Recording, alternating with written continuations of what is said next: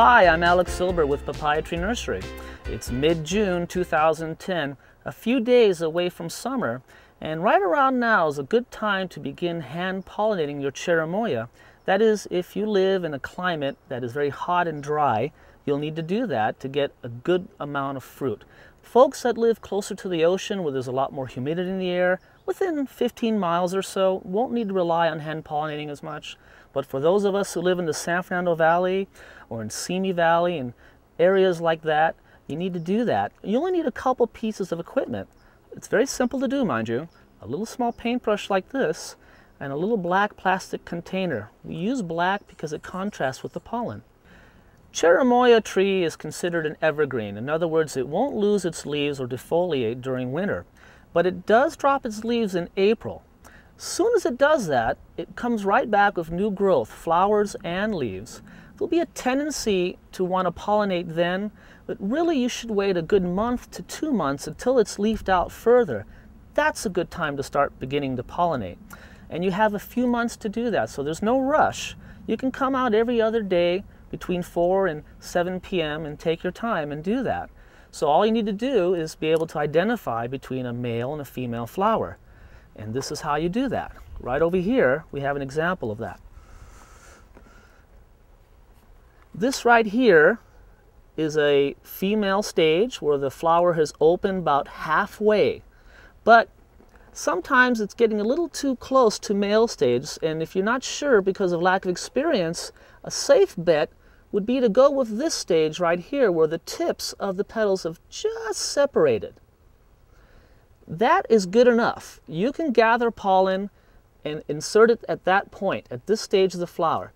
The first step is to identify a, a male flower, which we've done right here, and put this black plastic container underneath it, or 35 millimeter film container, and basically tap the flower like so with the container underneath it and you collect some pollen.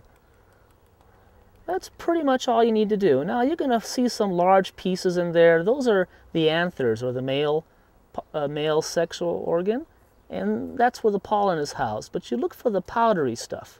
That's the pollen itself. That's the stuff you want to get on the tip of your brush. And that's it. Now you go to a female flower and you're ready to go.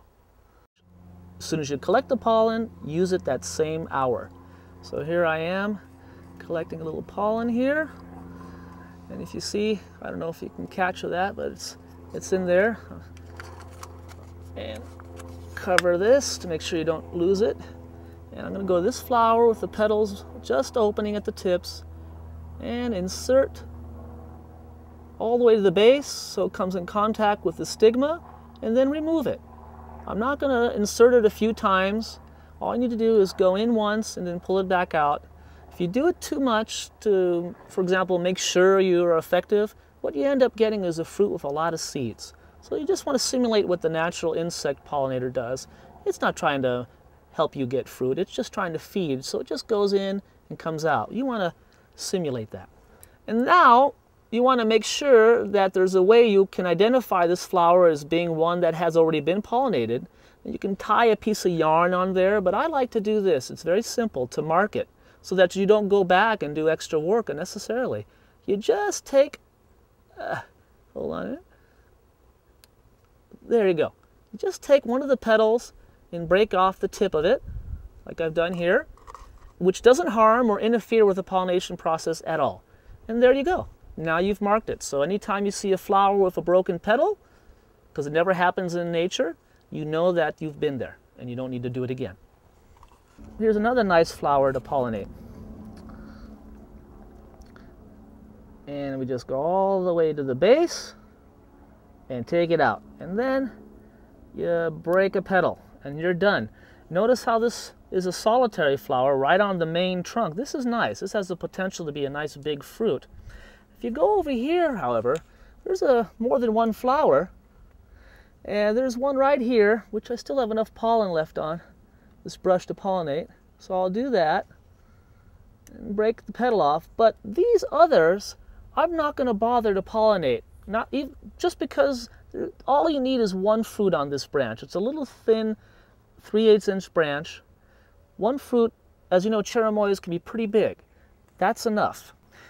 Although the cherimoya blossom isn't the most beautiful exotic blossom in the world, what it lacks for in its appearance, it makes up for in the aroma. One of the nice things about pollinating by hand is you're in and amongst the canopy and you're surrounded by these flowers and this wonderful aroma that it's much like the flavor of the fruit itself.